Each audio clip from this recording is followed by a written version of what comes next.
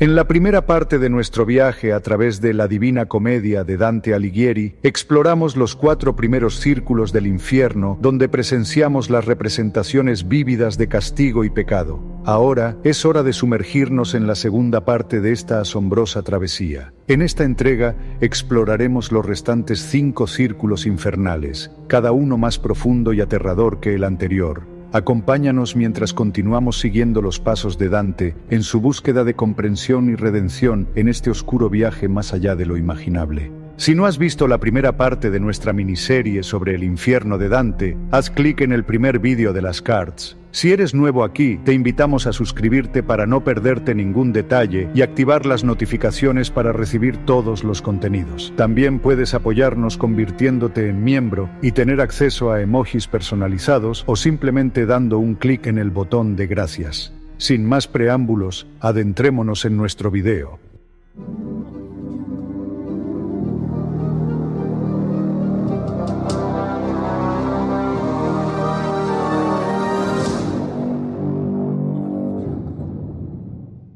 Dante y Virgilio llegan ahora al quinto círculo infernal, donde un escenario siniestro se despliega ante ellos. A medida que se acercan, un sonido familiar y a la vez inquietante llega a sus oídos. El inconfundible sonido del agua corriente. Un eco escalofriante anuncia su llegada al río Estigia, este macabro río desempeña un papel crucial en la geografía infernal, marcando la frontera entre las regiones superiores e inferiores del inframundo. Mientras Virgilio y Dante contemplan el paisaje, una escena perturbadora se desarrolla ante ellos. La orilla del río está habitada por almas embarradas, doblegadas bajo el peso de su propia culpa. Estas son las personas coléricas, individuos que sucumbieron a la ira desenfrenada durante sus vidas terrenales. Consumidas por su propia ira, que las llevó a su perdición, estas almas luchan incansablemente entre sí e incluso se muerden mientras están sumergidas en el barro turbio que caracteriza a este oscuro río.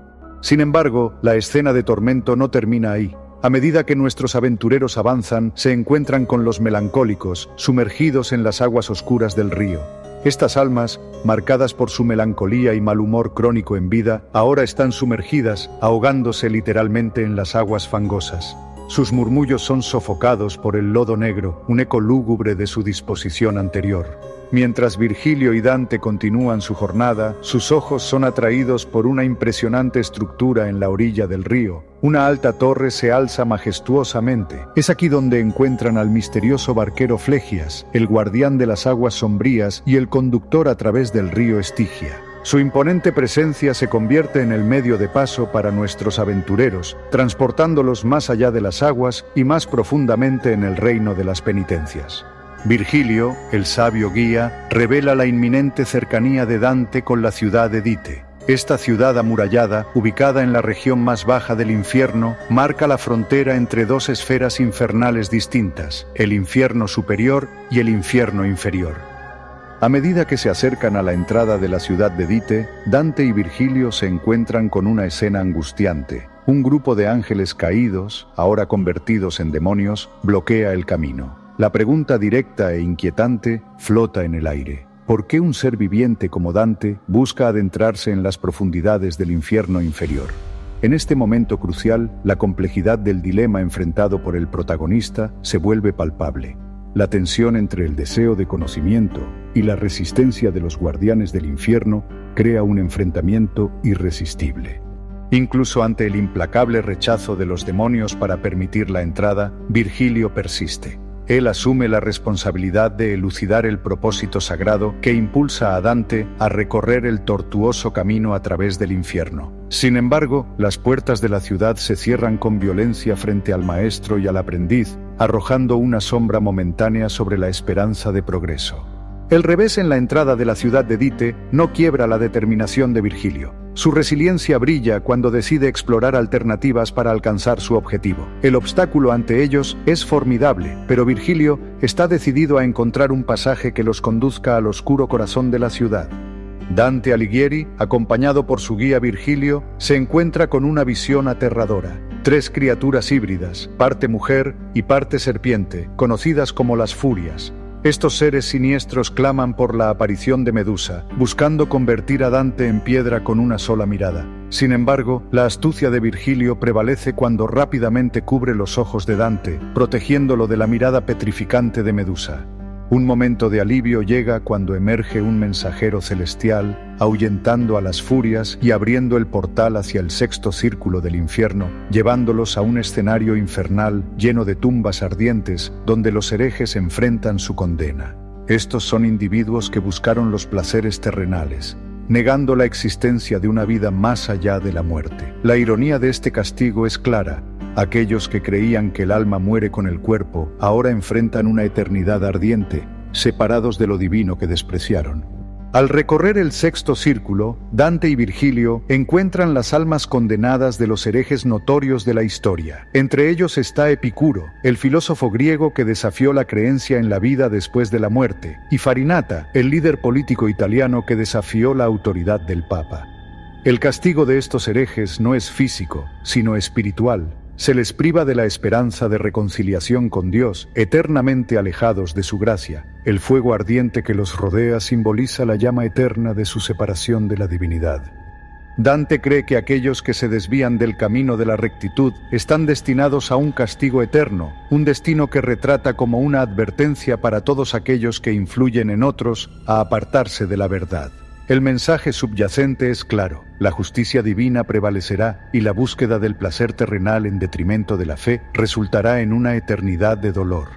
El séptimo círculo está dividido en tres tipos de anillos de castigo para las almas que residen allí. El primer anillo del círculo de la violencia es una cápsula de sufrimiento reservada para aquellos que, en vida, derramaron la sangre preciosa de sus semejantes. Estos son los violentos que se entregaron a la brutalidad contra otras almas humanas. Aquí, los ríos de sangre hirviente, una metáfora elocuente de sus transgresiones pasadas, sumergen a las almas en un tormento interminable, la sangre hirviente es tanto un recordatorio vívido de lo que infligieron como un agente de un dolor indescriptible. Cada fibra de estas almas está inmersa en este río de culpa, condenada a sentir el ardor de su pasado implacable. En el segundo anillo del círculo de la violencia, encontramos a aquellos que volvieron su violencia contra sí mismos, culminando en actos extremos como el suicidio. Estas almas atormentadas son transformadas en árboles y arbustos, impotentes frente al cruel toque de las arpías, criaturas míticas con semblantes femeninos y cuerpos alados. Estos seres oscuros rasgan las ramas de los árboles formados por las almas, una representación visual del sufrimiento interior que estos transgresores enfrentaron en vida. El ciclo incesante de dolor se despliega mientras las arpías ciegan y desgarran, perpetuando la agonía autoinfligida que alguna vez los consumió. El tercer y último anillo del círculo de la violencia es una tierra árida y desolada, donde las almas que cometieron violencia contra Dios y la naturaleza son condenadas a vagar. Blasfemos y sodomitas, entre otros, encuentran su morada en este erial inhóspito. Aquí, la tierra es una vasta y implacable extensión de arena ardiente, mientras el cielo vierte una lluvia hecha de fuego, quemando el alma y la esperanza. El desierto eterno es un cruel recordatorio de la búsqueda infructuosa de comodidad y descanso, un viaje sin rumbo que refleja la falta de dirección que sus vidas vacías trajeron consigo. El octavo círculo del infierno, según la épica visión de Dante Alighieri, está reservado para aquellos que se atrevieron a cometer fraudes.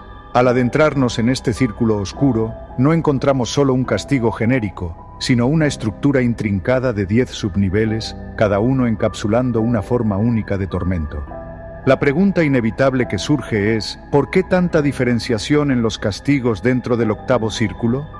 Dante, perplejo, cuestiona a su guía Virgilio sobre esta distinción. En respuesta, Virgilio recurre a las palabras de Aristóteles, quien durante mucho tiempo discutió tres tipos fundamentales de comportamiento contrario a la voluntad divina. La falta de autocontrol, la maldad y la violencia extrema. Es precisamente a partir de estas delimitaciones que surgen los castigos dentro de los subniveles del octavo círculo. A medida que exploramos cada subnivel, descubrimos cómo los actos de fraude encajan en estos criterios, justificando los implacables castigos infligidos a las almas perdidas. En el primer subnivel presenciamos la angustia de los cafres y lenones. Estas almas son condenadas a una marcha incesante en círculos mientras demonios despiadados las azotan implacablemente. Este castigo manifiesta la explotación de otros seres humanos en busca de ganancia personal. El dolor físico es un reflejo del dolor emocional infligido a las víctimas de estos crueles pecados. El segundo subnivel está habitado por los lisonjeros, sumergidos en un río fétido de excrementos. Este repugnante castigo simboliza la suciedad y las mentiras que estas almas propagaron en vida. La inmersión en la impureza y los ataques continuos de los demonios personifican el precio pagado por sus falsedades. Los simoniacos, responsables de la compra y venta de cargos eclesiásticos, se encuentran en el tercer subnivel. Enterrados boca abajo, las llamas consumen implacablemente las plantas de sus pies. Sin embargo, entre las almas que allí se encuentran, una atrajo la atención de Dante. Virgilio entonces lleva a Dante junto a esta alma pecadora y descubren que era el Papa Nicolás III. Este castigo retrata vívidamente la corrupción de sus funciones espirituales y la distorsión de sus responsabilidades sagradas. El cuarto subnivel es el reino de los adivinos. Caminando en fila con las cabezas torcidas hacia atrás, se les impide ver el futuro, una prerrogativa divina. Esta visión distorsionada refleja sus esfuerzos ilícitos por controlar lo desconocido, sometiéndolos a una eterna oscuridad de perspectiva. Los injertadores, que usaron su poder para ganancia personal, enfrentan la agonía del quinto subnivel. Sumergidos en un lago hirviente de alquitrán, la sustancia pegajosa refleja la corrupción que impregnó sus actos. Su inmersión eterna destila la naturaleza viscosa de sus negocios fraudulentos. En el sexto subnivel, los hipócritas visten ropas de plomo dorado, simbolizando su falsa apariencia. Mientras caminan en círculos, sus vestiduras externas reflejan la máscara engañosa que llevaron en vida. La repetición del movimiento denota el ciclo interminable de sus engañosas representaciones. El séptimo subnivel está ocupado por los ladrones, constantemente perseguidos y picados por serpientes. Estas criaturas trazan paralelos con la naturaleza traicionera de los ladrones, representando la agilidad resbaladiza de sus acciones ilícitas. En el octavo subnivel, los consejeros de fraude, que usaron la confianza para engañar, se encuentran envueltos en llamas ardientes. El dolor que sufren refleja la ardiente decepción que infligieron a otros. Los sembradores de discordia, cuyas acciones dividieron comunidades, enfrentan la desmembración implacable en el noveno subnivel. Demonios desgarran sus almas, retratando los daños irreparables que causaron al propagar la desunión. El subnivel final es el reino de los falsificadores, condenados a diversas enfermedades y deformidades. Estas aflicciones físicas representan la corrupción de sus identidades falsas y sus mentiras. Al dejar el octavo círculo nos enfrentamos a una lección oscura y atemporal. El viaje infernal de Dante sirve como una severa advertencia para aquellos tentados a usar el poder y la posición para engañar y dañar. Cada subnivel, con sus castigos meticulosamente elaborados, nos recuerda las inevitables consecuencias del fraude y la manipulación. La inmensidad del infierno de Dante se revela de manera brutal e implacable en el noveno círculo, la última etapa de castigo, donde los pecadores enfrentan la terrible justicia por sus actos traicioneros. Este círculo, reservado para aquellos que cometieron la más horrenda de las transgresiones, la traición, es una representación vívida del oscuro destino que aguarda a los desleales. Entre las capas de frío y hielo, conocidas como cosito, se despliegan las historias de cuatro subniveles distintos, cada uno designado para un tipo particular de traición. En la primera subcapa, llamada Caina, el nombre lleva el peso de la traición. Caín, el hermano asesino, simboliza el tipo de traición que afecta los lazos familiares más íntimos. Aquellos que traicionaron a sus seres queridos, especialmente padres e hijos, enfrentan el frío helado que congela sus almas hasta el cuello inmovilizados y sin voz, llevan el peso de corazones fríos y la traición que perpetuaron contra su propia sangre. La segunda subcapa, Antenora, es un homenaje a Antenor, el príncipe troyano que entregó su ciudad a los griegos. En este círculo, los traidores de su propia patria o ciudad enfrentan el castigo. Con sus cabezas libres pero sus cuerpos congelados hasta el cuello, lloran incesantemente mientras las lágrimas se congelan en sus rostros, cegándolos ante la realidad que distorsionaron. Aquí, la traición contra la patria se personifica en la ceguera y en el lamento eterno por un calor protector que ahora es inalcanzable. En la tercera subcapa, Ptolomea, se destaca la traición contra invitados y amigos. Sumergidos completamente en el hielo, incapaces de moverse o hablar, aquellos que traicionaron la confianza depositada en ellos enfrentan una prisión de silencio e inmovilidad. Sus bocas congeladas son una representación física de la traición de aquellos que compartieron comidas y confidencias, un recuerdo congelado de vidas en las que se depositó confianza y que fueron destrozadas. En la última subcapa, Judeca, en honor a Judas Iscariote, aquellos que traicionaron a sus maestros o benefactores sufren su destino final.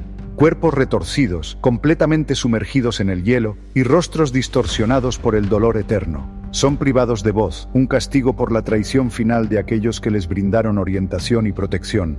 Cada posición distorsionada es un testimonio de su traición y sufrimiento. El noveno círculo del infierno es más que un relato de castigo, es una advertencia extrema sobre las consecuencias de la traición. Dante nos recuerda que la confianza es un bien preciado y que traicionar a aquellos que nos son más cercanos, nuestra nación, amigos o mentores, resulta en un destino cruel y helado. La frialdad de corazón que acompaña a la traición está esculpida en cada subcapa, una advertencia sombría contra elegir ese peligroso camino. A medida que exploramos los terribles círculos del infierno de Dante, desde los ríos de furia hasta las llamas del fraude, somos llevados a un viaje profundo e inquietante. A través de los ojos de Dante y su guía Virgilio, presenciamos el castigo severo y simbólico que aguarda a los pecadores. La inmersión en las profundidades del infierno nos obliga a enfrentar no solo las imágenes horripilantes, sino también los temas complejos de la culpa, la redención y la naturaleza humana. La Divina Comedia de Dante Alighieri no es solo una visión sombría del inframundo, sino también una exploración de las muchas facetas de la condición humana. El viajero, en su búsqueda de comprensión y reconciliación, refleja nuestra propia búsqueda de significado y dirección. Mientras presenciamos los horrores del infierno, se nos recuerda la importancia de nuestras elecciones y acciones durante nuestras vidas. Y así concluimos nuestro viaje a través de los nueve círculos del infierno según la visión de Dante. Si disfrutaste de esta exploración, dale like y comparte tus pensamientos en los comentarios. Si aún no estás suscrito, suscríbete y activa las notificaciones para estar al tanto de los próximos contenidos. Agradecemos a todos los que nos acompañaron en este viaje por el inframundo literario de Dante Alighieri. Hasta el próximo video.